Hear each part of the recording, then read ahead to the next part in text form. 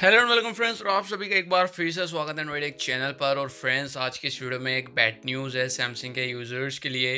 यहाँ पर अगर आप यूज़ कर रहे हैं सैमसंग का कोई भी स्मार्टफ़ोन जिसमें एंड्रॉयड टेन और वन यू टू का जो अपडेट है, वो आने वाला है तो आप सभी के लिए एक बैड न्यूज़ है। और वो जो बैड न्यूज़ है, वो यही है कि यहाँ पर Android ten O one U I two हो सकता है। सैमसंग थोड़ा और डिले कर दे।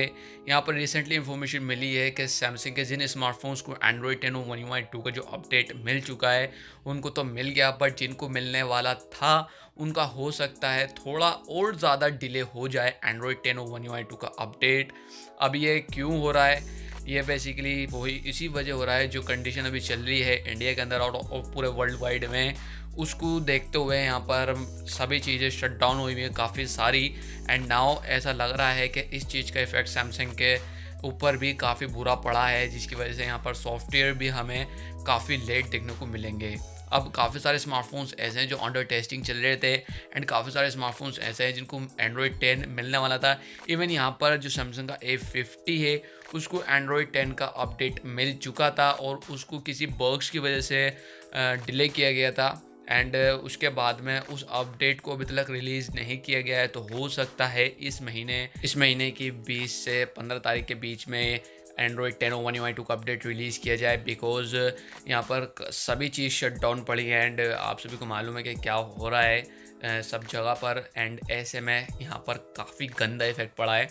इस बार सैमसंग ने पहली बार ऐसा किया था कि जो मेजर ओएस अपग्रेड होते हैं, वो इतनी जल्दी प्रोवाइड किए गए हैं। मतलब सैमसंग की हिस्ट्री में कभी भी इतनी जल्दी तो सॉफ्टवेयर अपडेट प्रोवाइड नहीं किए गए थे।